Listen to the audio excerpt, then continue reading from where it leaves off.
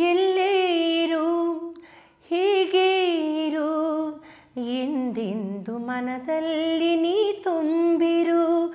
ಓ ಗುಣವಂತ ಓ ಗುಣವಂತ, ನಿನ್ನ ಗುಣಗಾನ ಮಾಡಲು ಪದಗಳೇ ಸಿಗುತ್ತಿಲ್ಲ. ಪದಗಳೇ ಸಿಗುತ್ತಿಲ್ಲ. ನನ್ನ ಹೆಸರು ಬಾಬಿ ಅಂತ. ಆದರೆ ನನ್ನ ಒರಿಜಿನಲ್ ನೇಮ್ ಬಂದು ಅನಿಲ್ ಕುಮಾರ್ ಅಂತ. ವಾದಿಗೋಷ್ಠಿ ಕ್ಷೇತ್ರದಲ್ಲಿ ಸತತವಾಗಿ ಇಪ್ಪತ್ತೆರಡು ವರ್ಷದಿಂದ ನನ್ನ ಗಾಯನ ಕ್ಷೇತ್ರ ಮುಂದುವರಿಸ್ತಾ ಇದ್ದೀನಿ.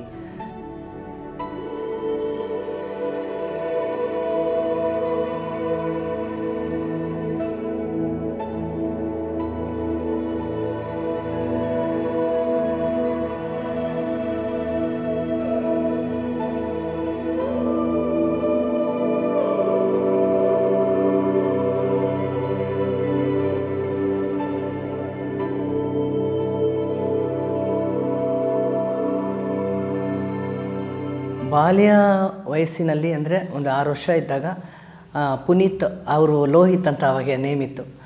ಆವಾಗ ನಾನು ಅಲ್ಲಿ ಒಂದು ವಾದ್ಯಗೋಷ್ಠಿಯಲ್ಲಿ ಹಾಡು ಹೇಳಿದ್ದೆ. ಆ ವಾದ್ಯಗೋಷ್ಠಿ ಬಂದು ಬೆಂಗಳೂರು ಬಾಯ್ಸ್ ಅಂತ. ಆ ಆರ್ಕೆಸ್ಟ್ರಾದಲ್ಲಿ ಎರಡು ಸಾಂಗ್ ಹಾಡಿ, ಆಮೇಲೆ ನಾನು ಅಪ್ಪ ಅಮ್ಮ ಎಲ್ಲ ಸ್ವಲ್ಪ ಮನೇಲಿ ಬೈದರು.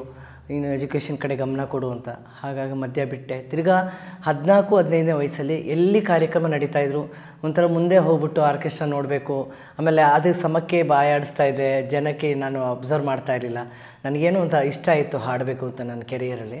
ಆಮೇಲೆ ನನ್ನ ತಂದೆ ತಾಯಿಯವರೆಲ್ಲ ಏನಂದರೆ, ಸಂಗೀತಕ್ಕೆ ಅಂತ ಸೇರ್ಕೊ ಅಂತ ಆಮೇಲೆ ನನ್ನ ಧೈರ್ಯ ಕೊಟ್ಟರು ಸರಿ ಸಂಗೀತಕ್ಕೆ ಸೇರಿಕೊಂಡೆ, ಶಾಸ್ತ್ರೀಯ ಸಂಗೀತ ಅಭ್ಯಾಸ ಮಾಡಿಕೊಂಡೆ.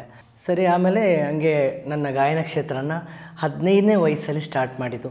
ಸತತವಾಗಿ ಇಪ್ಪತ್ತೆರಡು ವರ್ಷದಿಂದ ನಡ್ಸ್ಕೊಂಡು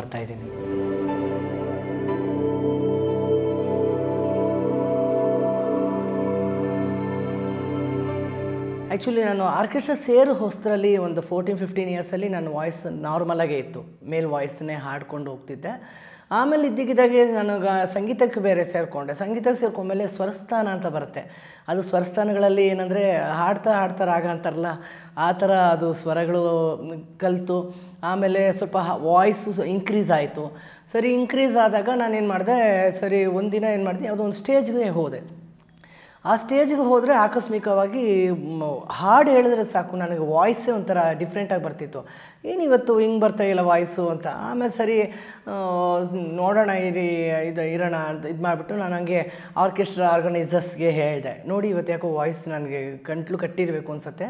ಒಂಥರ ಆ, ಥರ ಕೀಲು ಧ್ವನಿ ಬರ್ತಿದೆ ಅಂತ ಹೇಳಿದೆ. ಆಮೇಲೆ ಅವ್ರು ಇದ್ಕೊಂಡು ಇಲ್ಲ ನೋಡೋಣ ಇರಿ ಅಂತ ಒಂದು ಹಾಡು ನನ್ನ ನಾರ್ಮಲ್ಲಾಗಿ ಆರ್ಕೆಸ್ಟ್ರಾಗಳಲ್ಲಿ ಏನು ಹಾಡು ಹೇಳ್ತೀವೋ ಆ ಹಾಡನ್ನೇ ಆಟೋಮೆಟಿಕಲಿ ಹಾಡಿದೆ.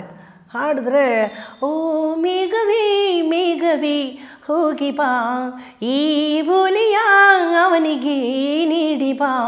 ಈ ಸಾಂಗೆ ಫಸ್ಟ್ ಹಾಡಿದೆ ಫಿಮೇಲ್ ವಾಯ್ಸು ಅದು ನೋಡಿದ್ರೆ ಒಂಥರ ಫಿಕ್ಸ್ ಆಗಿಬಿಡ್ತು ನನ್ನ ವಾಯ್ಸ್ಗೆ ಸರಿ, ಅಲ್ಲಿಂದ ಏನಾಯಿತು? ಒಂದೊಂದೇ ಒಂದೊಂದೇ ಮೂವಿಗಳು ಹಾಡು ಕೇಳ್ತಾ ಇದ್ದೆ. ಆಮೇಲೆ ಅವ್ರು ನನಗೆ ಒಂಥರ ಗಾಡ್ ಫಾದರ್ ಅಂತಲೇ ಹೇಳಬೇಕು ನಾನು ವಾದ್ಯಗೋಷ್ಠಿ ಕ್ಷೇತ್ರದಲ್ಲಿ. ಯಾರೇ ಆರ್ಗನೈಸರ್ ಆದರು. ಅವರು, ನೀನು ಹಾಡು, ನಿನ್ನ ಹತ್ರ ಕೆಪಾಸಿಟಿ ಇದೆ. ವಾಯ್ಸು ನಿಂದೇನು ಚೇಂಜ್ ಅಂತಲ್ಲ. ಇದು ಒಂಥರ ಡಿಫ್ರೆಂಟಾಗಿ ಒಂದು ಗಿಫ್ಟಾಗಿ ಬಂದಿದೆ. ಅದನ್ನು ಬೆಳೆಸ್ಕೋ, ಅಳಿಸ್ಕೋಬೇಡ ಅಂತ ಅಂದರು.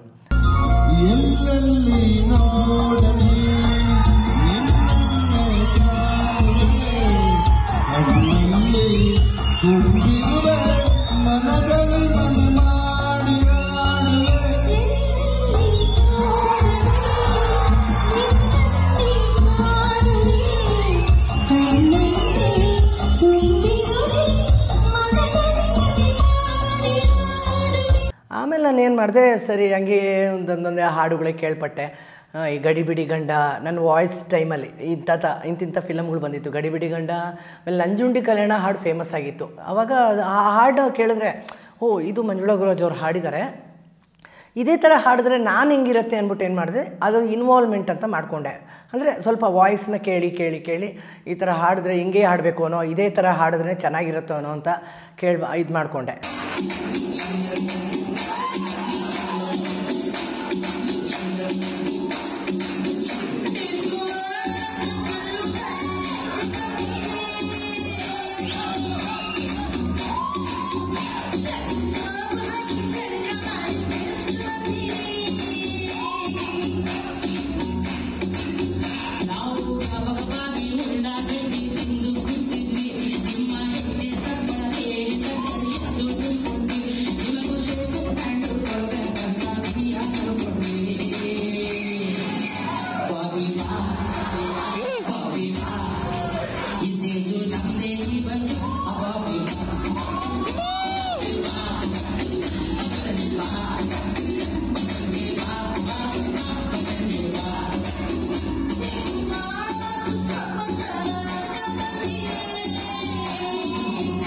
ಆಮೇಲೆ ಸಂಗೀತ ಕ್ಷೇತ್ರದಲ್ಲಿ ನನ್ನ ಗುರುಗಳು ಚಿಂತನಪಳ್ಳಿ ಸುಬ್ಬಗಂಗಾ ಅಂತ.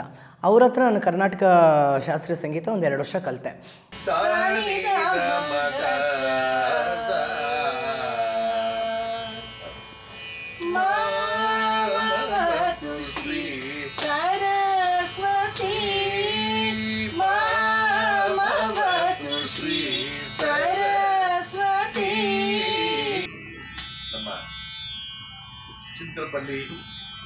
ಮನತನದಲ್ಲಿ ಸುಮಾರು ವರ್ಷ ಅಭ್ಯಾಸ ಮಾಡಿ ನನ್ನ ಅಮ್ಮ ಇದ್ದ ಹತ್ರ ಸುಬ್ಬಗಂಗಾ ಹತ್ರ ಅಭ್ಯಾಸ ಮಾಡ್ತಾ ಇದ್ದ. ತುಂಬ ಚೆನ್ನಾಗಿ ಹಾಡ್ತಾ ಇದ್ದ. ಅವನ ಕಾಲವಾದ ನಂತರ ನಾನು ಸುಬ್ಬಗಂಗಾ ಅವ್ರ ಭಾವ. ನನ್ನ ಹತ್ರ ಬಂದು ಸುಮಾರು ವರ್ಷ ಅಭ್ಯಾಸ ಮಾಡಿದ್ದಾನೆ. ಒಳ್ಳೆ ಹುಡುಗ. ಯಾವ ಶ್ರುತಿಯಲ್ಲಿ ಬೇಕಾದರೂ ಹಾಡುವಂಥ ಕ್ಯಾಪಬಿಲಿಟಿ ಅವನ ಹತ್ರ ಇದೆ. ಅವನಿಗೆ ಒಳ್ಳೆ ಭವಿಷ್ಯ ಇದೆ ಅಂತ ಹೇಳ್ತಾ ಇದ್ದಾರೆ Anil good student to our family ಅದಾದಮೇಲೆ ಹೋಗ್ತಾ ಹೋಗ್ತಾ ಹೋಗ್ತಾ ಹಿಂಗೇನೆ ವಾಯ್ಸ್ ಕೇಳೋದು ಹಾಡೋದು ಮಾಡಿಕೊಂಡು ಹಿಂದಿ ಸಾಂಗ್ಗಳು ತಮಿಳು ತೆಲುಗು ಅವೆಲ್ಲ ಹಾಡು ಹೇಳ್ತಾ ಇದ್ದೆ ಆ, ಒಂಥರ ನನಗೆ ಒಂದು ಖುಷಿ ಆಗ್ತಾಯಿತ್ತು ಹೋಗ್ಲಿ ಬಿಡು ಅದೇನೋ ಆ ವಾಯ್ಸು ಯಾಕೋ ಸರಿಯಾಗಿ ಬರ್ತಿರ್ಲಿಲ್ಲ. ಇದರ ಇದರ ಅಟ್ಲೀಸ್ಟ್ ಬಂತಲ್ಲ ಈ ಕ್ಷೇತ್ರ ಗಾಯನ ಕ್ಷೇತ್ರಕ್ಕೆ ಅಂತ ಒಂದು ಖುಷಿ ಆಯಿತು ನನಗೆ.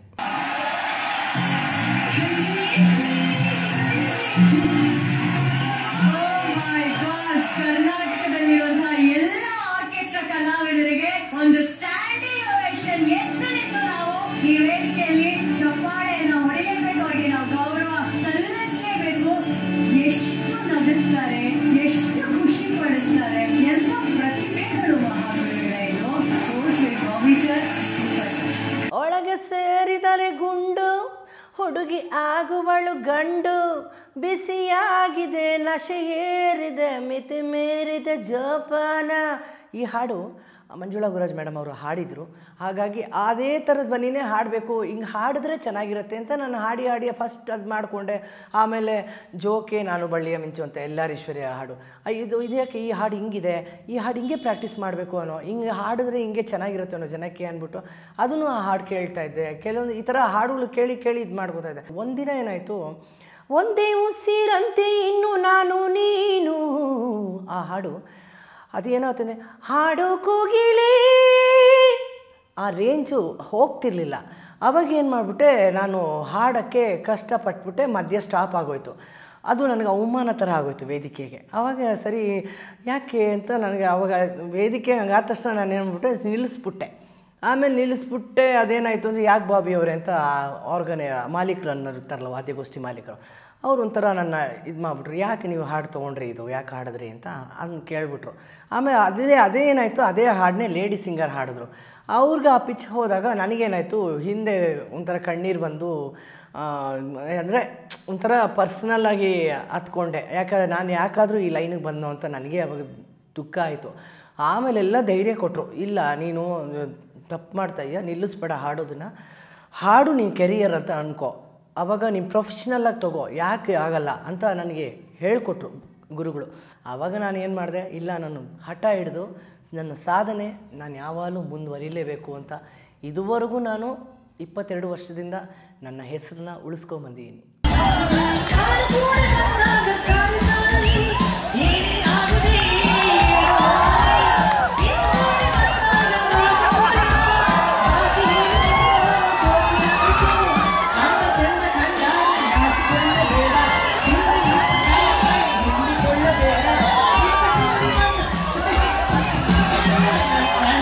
ಇತ್ತೀಚೆಗೆ ನನಗೆ ಡಾಕ್ಟರೇಟ್ ಪದವಿ ಬಂತು.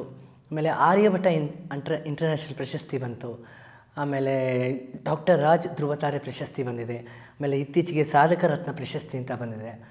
ಆಮೇಲೆ ನಾಡಶಿಲ್ಪಿ ಕೆಂಪೇಗೌಡ ಪ್ರಶಸ್ತಿ ಅಂತ ಬಂದಿದೆ. ಈ ಥರ ನನ್ನ ಸಾಧನೆ ಕಂಡಿಡಿದು ಈ ಬಹುಮಾನ ಬರ್ತಾ ಇದೆ ಅಷ್ಟು.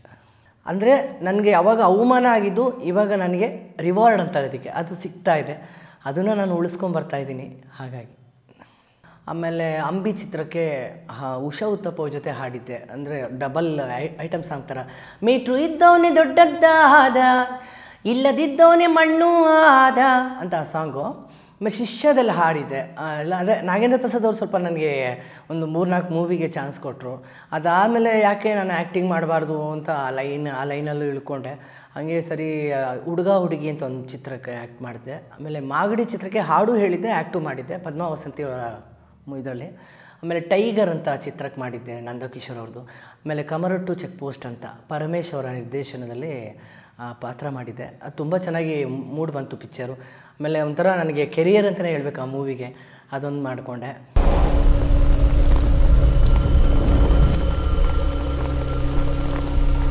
ನನ್ನ ಫ್ರೆಂಡ್ಗೆ ಯಾವತ್ತೂ ಫೋನ್ ಮಾಡದೇ ಇರೋದು. ಹಿಂಗೆ ಒಂದಿನ ಫೋನ್ ಮಾಡಿದೆ. ಏ, ಈ ಥರ ಹೇಗಿದೆಯಾ ಕ್ಯಾಶುವಲ್ ಮಾತು. ಹಾಂ ಚೆನ್ನಾಗಿದ್ದೀನಿ ನೀ ಹೇಗಿದೆಯಾ ಸರಿ, ಆಮೇಲೆ ಹಿಂಗೆ ಮಾತು ಬಂತು, ಸರಿ ಆಯಿತು ಅಂದ್ಬಿಟ್ಟು, ಅಮ್ಮ ಕೇಳ್ತಾ ಇದ್ದಾರೆ, ಒಂದ್ಸಲಿ ಬಾ ಅಂತ ಅಂತಾರಲ್ವ ಮನೆ ಅಂದಮೇಲೆ.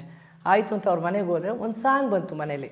ಆ ಸಾಂಗ್ ಬಂದರೆ, ಅಷ್ಟೊತ್ತಿಗೆ ಸಾಂಗ್ ಬರೋಕ್ಕೂ ಅವರು ಒಬ್ಬರು ಚಿಕ್ಕಪ್ಪ ಇದ್ದಾರೆ ನನ್ನ ಫ್ರೆಂಡ್ಗೆ. ಅವ್ರು ಬರೋಕ್ಕೂ ಸರಿ ಹೋಯ್ತು ಅಲ್ಲಿ ನೋಡಿದ್ರೆ ಅವ್ರು ಬಂದು ಬಾಬಿಯವರೇ ನಾನೀಗ ಎಲ್ಲಿದ್ದೀನಿ ಗೊತ್ತಾ? ಎಲ್ಲಿ ವರ್ಕ್ ಮಾಡ್ತಾಯಿದ್ದೀನಿ ಗೊತ್ತಾ? ಅಂತ ಕೇಳಿದ್ರು ನನ್ನ. ಎಲ್ಲಿ ಸರ್? ಅಂತ ಅಂದೆ. ಸರಿ, ಎಸ್ ಜಾನಕಿ ಅವರಿಗೆ ನಾನೀಗ ಮ್ಯಾನೇಜರ್ ಆಗಿದ್ದೀನಿ ಅಂತಂದರು. ನನಗಾದಂಥ ಸಂತೋಷ ಏನು ಯಾರಿಗೂ ಆಗಲಿಲ್ಲ. ಅವತ್ತಿನ ದಿನ ಏನು ಮಾಡಿಬಿಟ್ಟೆ, ನನಗೆ ಬಿಟ್ಟ ಕೆಲಸ ಏನೇನಿರುತ್ತೋ ಎಲ್ಲ ಕೆಲಸನೂ ಪೆಂಡಿಂಗ್ ಇಟ್ಬಿಟ್ಟು ಅವ್ರ ಜೊತೆಗೆ ಓಕೆ ಮಾಡಿ ಅವ್ರ ಮನೆಗೆ ಹೋದೆ. ಈ ಥರ ಏನು ಬಾಬಿ ಅಂತ, ಲೇಡೀಸ್ ವಾಯ್ಸಲ್ಲಿ ಹಾಡು ಹೇಳ್ತಾರೆ ಅಂತ.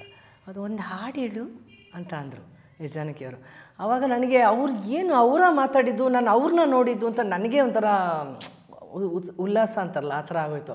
ಆಮೇಲೆ ಸರಿ ನನ್ನ ಫ್ರೆಂಡ್ ಚಿಕ್ಕಪ್ಪ ಹೇಳಿದ್ರು, ಅವ್ರು ಏನೋ ಒಂದು ಸಾಂಗ್ ಹಾಡು ಅಂತಾರೆ, ಅವ್ರಿಗೆ ಇಷ್ಟವಾಗಿರೋ ಸಾಂಗ್ ಒಮ್ಮೆ ನಿನ್ನನ್ನು ಕಣ್ತುಂಬ ಅಂತ, ಅದು ಹಾಡಿ ಅಂತ ಅಂದರು. ಒಮ್ಮೆ ನಿನ್ನನ್ನು ಕಣ್ತುಂಬ, ಕಾಣುವ ಸೇಯಲ್ಲಿರುವೆ ಭುವಿಯೆಲ್ಲೋ ಬಾನಲ್ಲೋ, ಇನ್ನೆಲ್ಲೋ ನಾ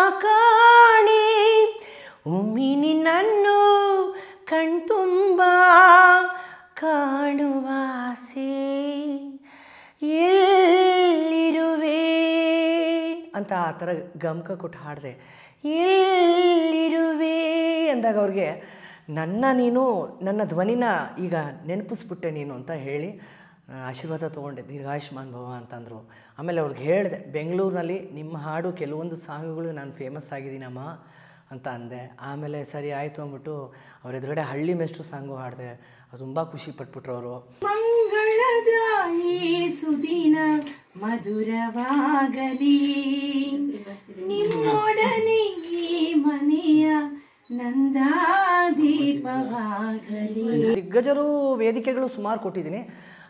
ಒಂದು ಅರ್ಜುನ್ ಜನಿಯ ಸರ್ ಆಗಿರ್ಬೋದು ಹಂಸಲೇಖ ಸಾರ್ದು, ಆಮೇಲೆ ವಿ ಆರ್ ಕೃಷ್ಣ ಸಾರು, ಎಲ್ಲ ಎಲ್ಲ ಕಡೆಯಿಂದ ಶೋನು ಕೊಟ್ಟು ಅವರಿಂದ ಒಳ್ಳೆ ಪ್ರಶಂಸೆ ತೊಗೊಂಡಿದ್ದೀನಿ.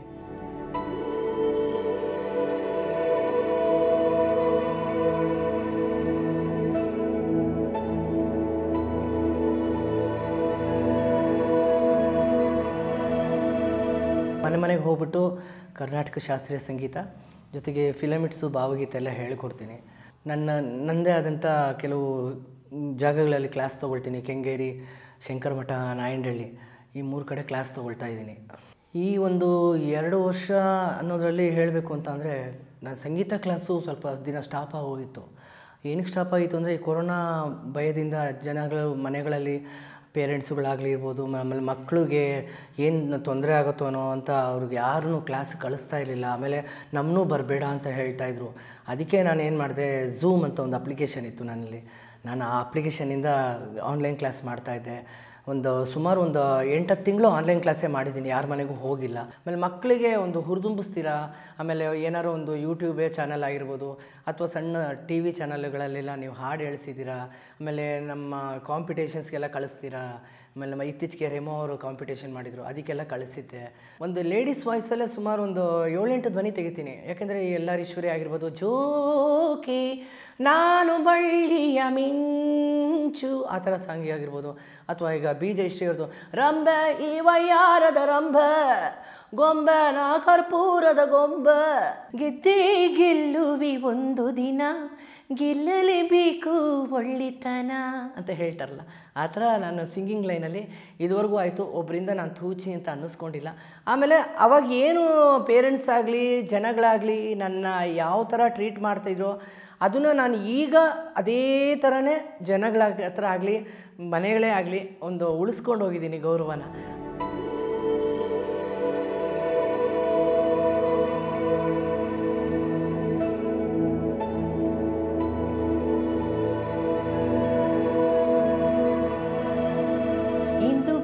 ಬಾನಿಗೆಲ್ಲ ಹಬ್ಬ. ಗಾಳಿಗಂಧಕ್ಕೂ ಹಬ್ಬ. ಆ ಸಾಂಗು ಮೆಲೋಡಿ ಇದೆ. ಸುಮ್ಮನೆ ಸುಮ್ಮನೆ, ಇದ್ದರೂ ಸುಮ್ಮನೆ ಪ್ರಾಣ ತಿಂತಾನೆ. ಪ್ರೀತಿಲಿಂಗಿಲ್ತಾನೆ ಈ ಹಾಡು ಇವೆಲ್ಲ ಒಂಥರ ಮೆಲೋಡಿ ಅಂತಲೇ ಹೇಳ್ಬೋದು. ಆಮೇಲೆ ಎಸ್ ಜಾನಕಿ ಅವ್ರದ್ದಾಗಿರ್ಬೋದು ಜೊತೆಯಲ್ಲಿ, ಜೊತೆ ಜೊತೆಯಲ್ಲಿ ಇರುವೆನು ಹೀಗೆ ಎಂದು ಹೊಸ ಹರುಷವ ತರುವಿನು ಇನ್ನು ಎಂದು. ಅದೇ ಆಗಿರ್ಬೋದು. ಆಮೇಲೆ ಅಥವಾ ಇದೆ ಸುಮಾರು ಉದಾಹರಣೆ ಹಾಡುಗಳು ಹೇಳ್ಕೊಂಡು ಹೋಗ್ಬೇಕು ಅಂದರೆ ಸುಮಾರೇ ಇದೆ. ಆಮೇಲೆ ವಾಣಿ ಜಯರಾಮ್ ಅವ್ರದ್ದು, ಹೋದೆಯ ದೂರ ಓ ಜೊತೆಗಾರ ಸೇರಲು ಬಂದಾಗ ಎಲ್ಲೇ ಇರು, ಹೀಗೆ ಇರು ಎಂದೆಂದು ಮನದಲ್ಲಿ ನೀ ತುಂಬಿರು. ಓ ಗುಣವಂತ ಓ ಗುಣವಂತ, ನಿನ್ನ ಗುಣಗಾನ ಮಾಡಲು ಪದಗಳೇ ಸಿಗುತ್ತಿಲ್ಲ. ಪದಗಳೇ ಸಿಗುತ್ತಿಲ್ಲ. ರಸಿಕ ರಸಿಕ. ಬಲು ಮೆಲ್ಲನೆ ತೂರಾಡೋ ರಸದ ನಿಮಿಷ ಕಂಡಾಗಲೇ ಮೆರೆದಾಡೋ ಇದು ಜಲ್ಲನಿ ಹೂವಿನ ಬಾಣ ಮನದ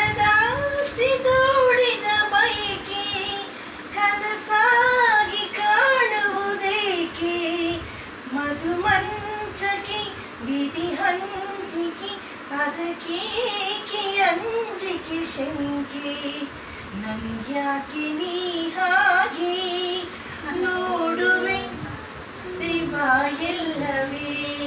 ಓ, ಮಾತಾಡದ ಬೊಂಬೆ, ಬಿಂಕದ ಸಿಂಗಾರಿ, ಮೈಡೊಂಕಿನ ವೈಯಾರಿ, ಈ ಸವಿಗಳಿಗೆ, ರಸದೀವಳಿಗೆ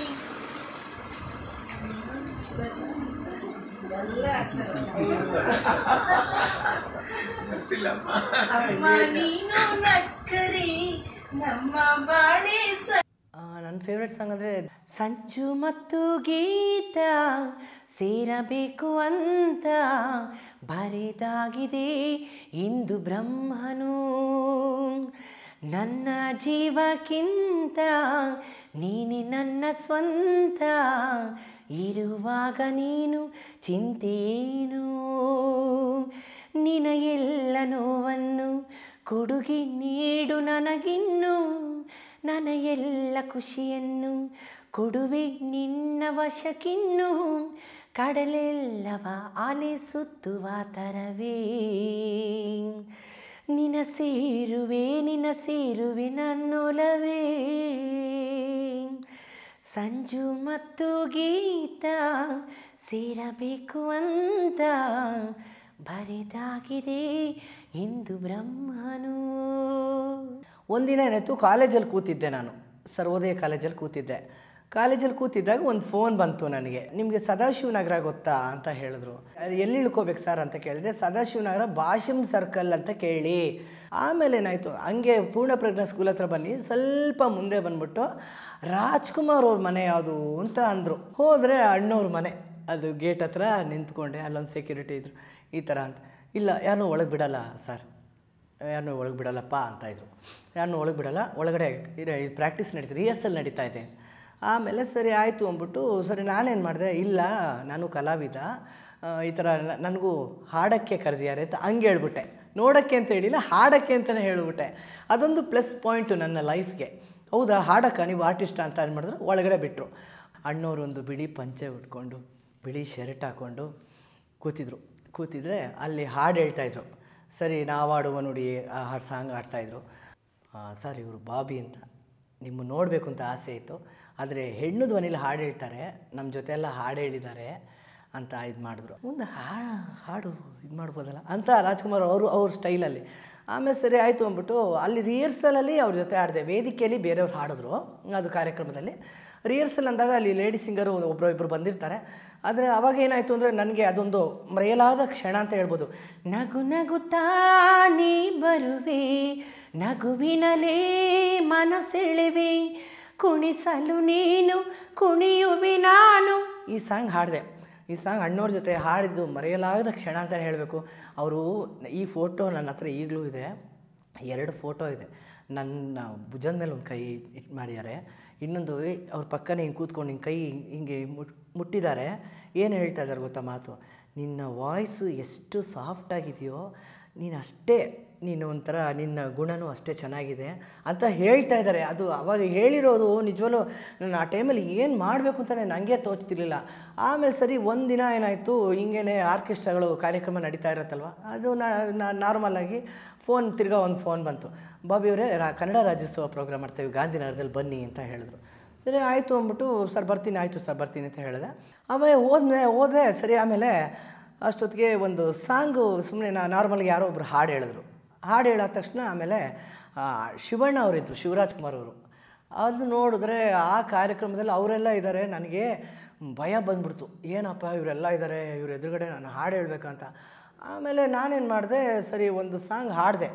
ಅಲ್ಲಿ ಅವರ ಎಲ್ಲರ ಎದುರುಗಡೆ ಮಾಡಿದೆ. ರಾಘವೇಂದ್ರ ರಾಜ್ಕುಮಾರ್ ಇದ್ದರು ಶಿವರಾಜ್ ಕುಮಾರ್ ಇದ್ದರು ಅಶೋಕ್ ಆ್ಯಕ್ಟರು ರಂಗನಾಯಕಿ ಆ್ಯಕ್ಟರ್ ಅವರು, ಅಶೋಕ್ ಅವರಿದ್ದರು ಎಲ್ಲ ಸಾಧಾರಣವಾಗಿ ದುನಿಯಾ ವಿಜಯ್ ಬಂದಿದ್ದರು ಅದು ಇದಕ್ಕೆ. ಅವರು ಇದ್ದರು ಈ ಥರ ಎಲ್ಲ ಇದ್ದಾಗ ಏನಾಯಿತು ನಾನೇನು ಮಾಡಿದೆ, ಒಂದು ಸಾಂಗ್ ಹಾಡಿದೆ. ದೂರದಿಂದ ಬಂದಂಥ ಸುಂದರಾಂಗ ಜಾಣ, ನೋಟದಲ್ಲಿ ಸೂರೆಗೊಂಡ ಅಂತರಾಂಗ ಪ್ರಾಣ. ಈತನಂತರಾಣ ಹೀಗೂ, ರೀತಿ ನೀತಿ ಹೀಗೂ. ನಾ ಕಾಣಿ ನಾ ಕಾಣಿ, ನನ್ನ ದೇವರಾಣಿ. ಅಂತ ಈ ಥರ ಸ್ಟೈಲ್ ಕೊಟ್ಟು ಹಾಡಿದಾಗ ಅವರೆಲ್ಲ ಒಂಥರ ಖುಷಿಯಾಗ್ಬಿಟ್ಟು ಏನು ಅವ್ರಿಗೆ, ಏನು ಮಾಡಬೇಕು ಅಂತ ಗೊತ್ತಾಗಲಿಲ್ಲ. ಆಮೇಲೆ ಹೇಳ್ತು, ನಾನೊಂದು ಹಾಡು ಹೇಳ್ತೀನಿ ನಿಮ್ಮ ಜೊತೆ ಅಂದರು ಶಿವರಾಜ್ ಕುಮಾರ್ ಅವರು. ನಿಜವಾಗ್ಲೂ ನನಗೆ ಅದು ಖುಷಿನೇ. ಅವರು ಯಾಕೆಂದರೆ ಅವರು ಡ್ಯಾನ್ಸ್ ಎಲ್ಲ ಮಾಡಿಬಿಟ್ರು, ಅವ್ರಿಗೆ ಏನು ತೋಚಬೇಕು ಅಂತ ಗೊತ್ತಾಗಲಿಲ್ಲ. ಇವ ಯುವರಾಜ ಅಂತ ಒಂದು ಮೂವಿ ಬಂದಿತ್ತು ಆ ಟೈಮಲ್ಲಿ ಓ ರಾಜ, ಶಿವರಾಜ ಯುವರಾಜ ನಿಲ್ಲವಿ ನಂಗೆ ಮ್ಯಾಜಿಕ್ಕು ಕಣೋ ಅಂತ ಹಾಡು ಹೇಳಿದ ತಕ್ಷಣ ಇಮಿಡಿಯೇಟ್ ಏನು ಮಾಡಿದ್ರು ಸುಮ್ಮನೆ ನನ್ನ ಮೀಸೆ ಹಿಂಗೆ ಟಚ್ ಮಾಡಿದ್ರು. ಅಂದರೆ ಒಂಥರ ಕಾಮಿಡಿ ಯಾಕೆಂದರೆ, ಏ, ಏನಿದು ಹುಡುಗಿ ವಯಸ್ಸು ಇಷ್ಟು ಚೆನ್ನಾಗಿ ಆಡಿದ್ರಲ್ಲ ಅದೇ ಥರನೇ ಬಂತಲ್ಲ ಅಂತ ಅವ್ರು ಒಂಥರ ದಿಗ್ಭ್ರಮೆ ಆಗಿಬಿಟ್ರು. ಅದೇ ಒಂದು ಎಲ್ಲ ಮರೆಯಲಾಗದ ಕ್ಷಣ ಅಂತಲೇ ಹೇಳಬೇಕು ನನಗೆ.